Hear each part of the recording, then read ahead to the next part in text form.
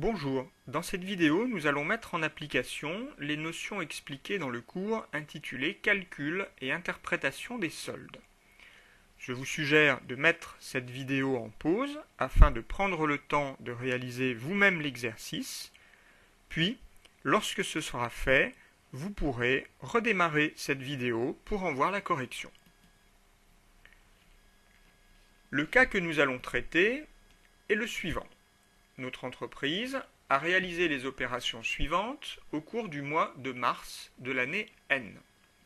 Nous avons donc ici une série d'opérations.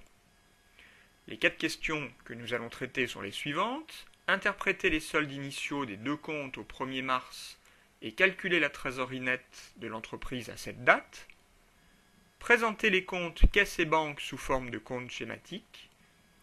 La trésorerie de l'entreprise s'est-elle améliorée? Enfin, que cache la présentation du compte 512 banques sous forme schématique? Commençons par répondre à la première question qui nous est posée en interprétant les soldes initiaux des deux comptes au 1er mars et en calculant la trésorerie nette de l'entreprise à cette date. Au 1er mars, on nous indique que le compte caisse présente un solde débiteur de 250 euros.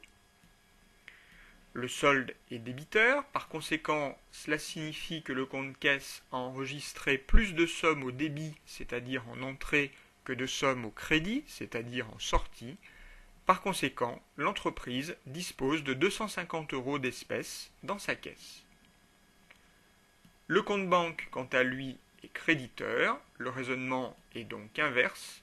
Nous avons sorti plus d'argent du compte en banque qu'il n'en est entré, et donc l'entreprise est à découvert de 3250 euros. Nous en déduisons le montant de sa trésorerie nette, qui est égal à 250 euros d'espèces moins les 3250 euros de découvert. Par conséquent, nous avons un déficit de trésorerie de 3000 euros.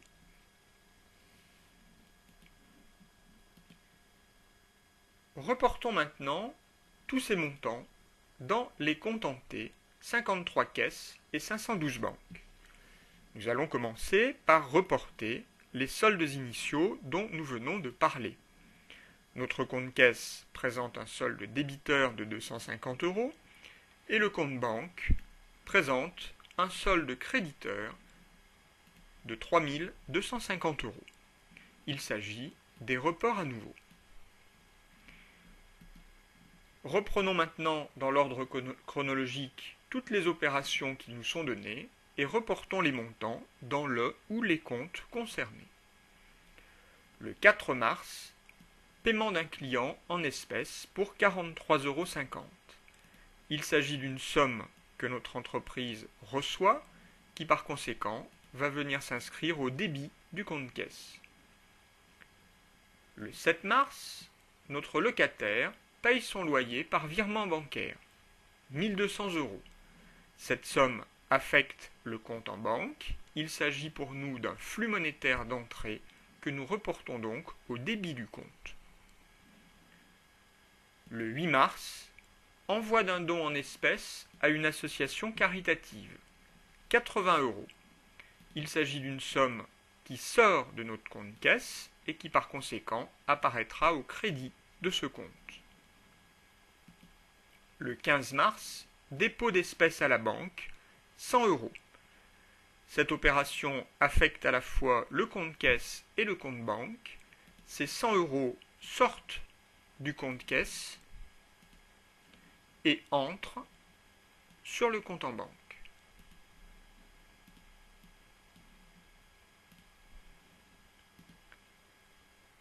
Le 16 mars, Montant des paiements par carte bancaire effectués ce jour par les clients, 3670 euros. Ce sont des sommes que nous avons reçues sur notre compte en banque et que nous allons donc reporter au débit du compte. Le 18 mars, paiement d'un fournisseur en espèces 54,80 euros. Cette somme sort de notre compte caisse et se retrouve donc au crédit du compte. Le 21 mars, versement d'un pourboire au livreur, 5 euros en espèces. Cette somme sort également de notre compte caisse. Le 22 mars, envoi d'un chèque à un fournisseur en paiement de matières premières 345 euros. Ce montant vient diminuer le solde de notre compte en banque et se retrouve donc au crédit de ce compte. Le 23 mars, retrait d'espèces de la banque, 350 euros. Cette somme affecte nos deux comptes caisse et banque. Il s'agit en effet d'un montant qui vient diminuer le solde de notre compte en banque et qui à ce titre se retrouve au crédit de ce compte, mais il vient aussi augmenter le montant que nous avons en caisse et donc se retrouve au débit du compte 53 caisses. Le 27 mars, achat d'ampoules payé comptant en espèces 18,20 euros. Ce dernier montant vient s'inscrire au crédit du compte caisse puisqu'il s'agit pour nous d'un flux monétaire de sortie. À l'issue de ces opérations, nous pouvons donc faire les calculs au débit et au crédit de chacun de nos comptes et en déduire leur solde. Le compte caisse a enregistré plus de montants au débit qu'au crédit. Par conséquent, son solde est débiteur pour 385,50. Par convention, nous marquons ce solde à droite du compte. Le compte banque est lui aussi débiteur. 4 970 euros moins 3 945 nous donne un solde débiteur de 1025 euros.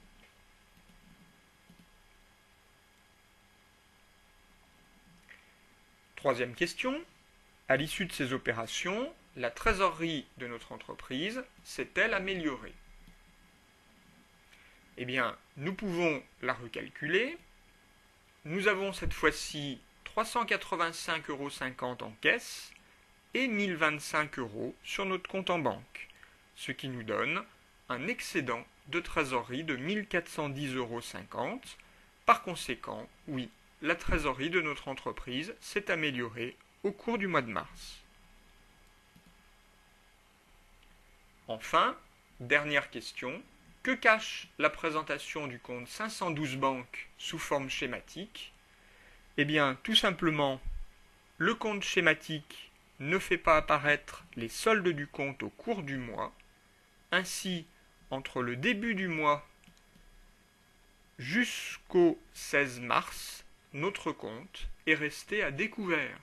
En effet, les 1200 euros et les 100 euros reçus sur le compte lors de la première quinzaine n'ont pas suffi à combler les 3250 euros de découvert que nous avions au début du mois. Par conséquent, il nous faudra payer des intérêts de découvert qui dépendront de la durée du découvert et de son montant.